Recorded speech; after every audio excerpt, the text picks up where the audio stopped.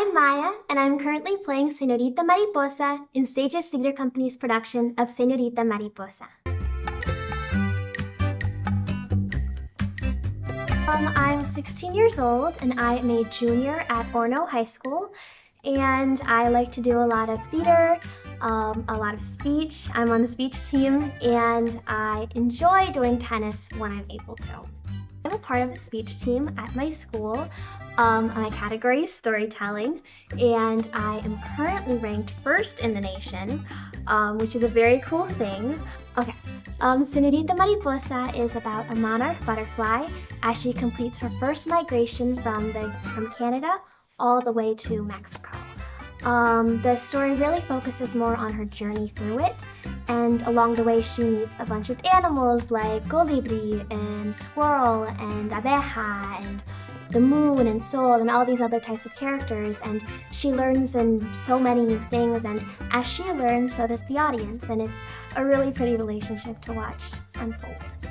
Okay, um, I have a very long history with stages. My first show is stages in 2019. Um, it was the Three Snow Bears. After I did Willy Wonka, Charlie Brown, um, I was an elf, and then Buckets, A Joyful Journey, um, Newsies Jr., and now Senorita Mariposa. So this will be my seventh show. My favorite thing about being in theater is the shared experiences that you get with the cast. What I really love about Senorita Mariposa is that it is a very small cast. It's just about nine people.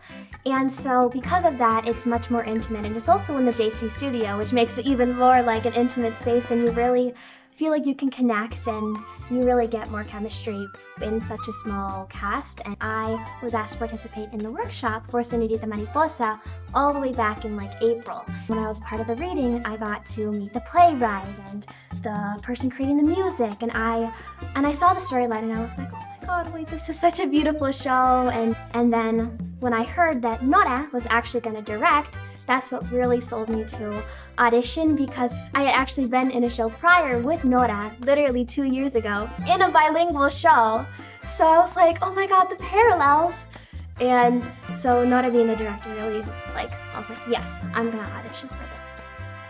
I think that people should come see the show because it's honestly just such a beautiful show. Like, it takes a lot of influence on uh, Latin culture and it really like there's a bunch of vibrant music that has in Spanish and like beautiful costumes and scenery. And I'm really excited to do a show that um, celebrates Hispanic culture um, and do one that is specifically about my Hispanic culture.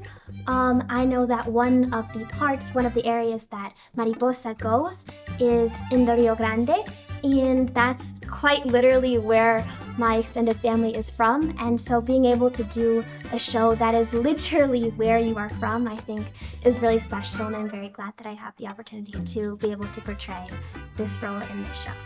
Come see Senorita Mariposa here at Stages Theater Company on stage from September 19th through October 6th. Little butterfly flying through the sky, I'm so happy.